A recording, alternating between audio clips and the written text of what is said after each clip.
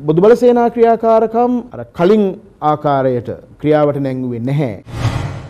අපිට නීති හැදීමේ බලයක් නැහැ. අපිට තියෙන ශ්‍රී ලංකාව තුල එක රටක් එක නීතියක් ක්‍රියාත්මක කිරීම සම්බන්ධයෙන් අධ්‍යයනය කර ඒ සඳහා පනත් කෙටුම්පතක් සකස් කිරීම. එතනින් එහාට මේවා නීති බවට පත් වෙනවද කියන එක මේ රටේ ව්‍යවස්ථාදායකයෝ විසින් තීරණය කරයි. ඒ වගේම දැනට අධිකරණ අමාත්‍යාංශය විසින් මේට අදාළව සකස් කරලා තියෙන නීති කෙටුම්පත් යෝග්‍යද? ඒ යෝග්‍ය නම් මේ පනත් කෙටුම්පතට මේවා ඇතුළත් කරන්නේ කොහොමද කියන කාරණා සාකච්ඡා කරන්න තමයි අපිට තියෙන්නේ. ඒ නිසා නොයෙක් දෙනාගෙන් අදහස් විමසලා පනත් කෙටුම්පත සකස් කරලා ජනාධිපතිතුමාට නියමිත කාලය තුල බාර දෙන්න තමයි අපි බලාපොරොත්තු වෙන්නේ. මේ කියන්නේ ජනාධිපතිතුමා අධිකරණ අමාත්‍යතුමාත් එක්ක සාකච්ඡා කරලාද මේ පත්වීම කරලා තියෙන්නේ ඔහුගේ අනුදුරුමත් ඇතිව. අධිකරණ අමාත්‍යතුමා ජනාධිපතිතුමාව හමු වුණා. හැබැයි මේ සාකච්ඡාවට එතුමාව යොමු කරන මොහොතේදී අධිකරණ අමාත්‍යතුමා ප්‍රකාශ කරපු ප්‍රකාශය උපුටා දැක්වීමක් වෙන සත්‍යන්ත ඉංග්‍රීසි පුවත්පත පළ කරන්නේ මොහොතේ පළ කරපු එකක් නෙවෙයි. නමුත් ජනාධිපතිතුමාව මේ පත් කිරීමෙන් පසුව අධිකරණ අමාත්‍යතුමා මුණ ගැසුණා. ඒ සාකච්ඡා කරා. අපේ බොදුබල සේනා වැඩපිළිවෙල එහෙම යයි.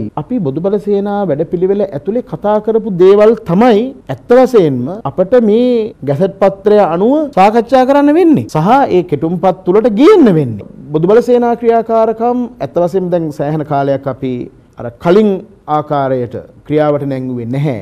මේ ඇතිවලා තිබුණ තත්ත්වයන් එක්ක අපි වෙන වෙන කටයුතු වල නිරත වෙලා ඉන්නවා. ඒ අතරතුර තමයි මේ වගකීම පැවරුනේ. ඉතින් මම හිතනවා මේ දෙක පටල ගන්න කිසිම කාරණාවකුත් නැහැ. අපි කතා කරපු දේමයි සාර්ථයක් කරගන්න දැන් අවස්ථාව ලැබිලා තියෙන. ඉතින් ඒ වෙනුවෙන් කැපවීමට තමයි අපේ කල්පනාව. මේ සමාජික පිරිසත් එක්ක